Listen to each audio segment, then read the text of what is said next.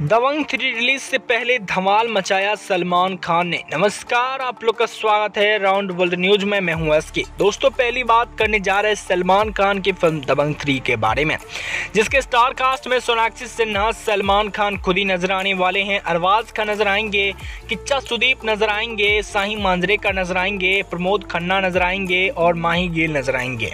और साथ में इसके डायरेक्टर हैं प्रभु देवा। ये फ़िल्म इतनी ज़बरदस्त है और इसके स्टार कास्ट में आप लोग तो जान ही चुके हैं। काफ़ी लाजवाब है इसके विलन में तो जानते हैं किच्चा सुदीप नज़र आने वाले हैं। और ये मूवी इस बार कुछ अलग तरीकों से रिलीज़ किया जाएगा। किस तरह दोस्तों, आप लोग को पूरी बात समझा देना चाहता हूँ। पहली बात, इसकी प्रोमो काफ़ी खास होने वाला है। सलमान खान की फ़िल्म दबंग थ्री का पहले पोस्टर उसके बाद इसका टीजर उसके बाद इसका तीन प्रोमो रिलीज़ किया जाएगा, उसके बाद इसका जानते हैं फाइनली इसका ट्रेलर रिलीज़ किया जाएगा। उसके बाद ये मूवी 20 दिसंबर को आपके बगल के सिनेमा घरों में रिलीज़ कर दिया जाएगा।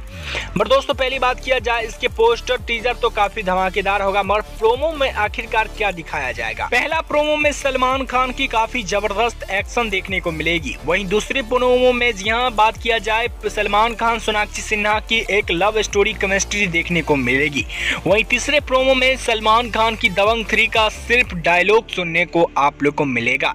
फाइनली इसकी जानते हैं टीजर टेलर भी काफ़ी धमाल मचाएँगे। मगर दोस्तों, बात किया जाए, प्रोमो काफ़ी बेहतरीन और सलमान खान इस बार अपनी मूवी को लेके जानते हैं, काफ़ी धमाल धमाल चीज़ होने वाले इसके प्रमोशन भी काफ़ी ज़बरदस्त तरह से किया जाएगा। तो दोस्तों, इस बात को लेके आप लोगों को क्या कहना है?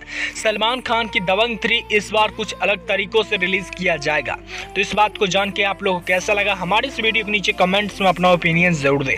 साथ में सलमान खान के हर एक दबंग थ्री के हर एक लेटेस्ट इंटरेस्टिंग खबर पाने के लिए बने रहिए राउंड वर्ल्ड न्यूज़ के साथ। मिलते हैं अगले अपडेट में।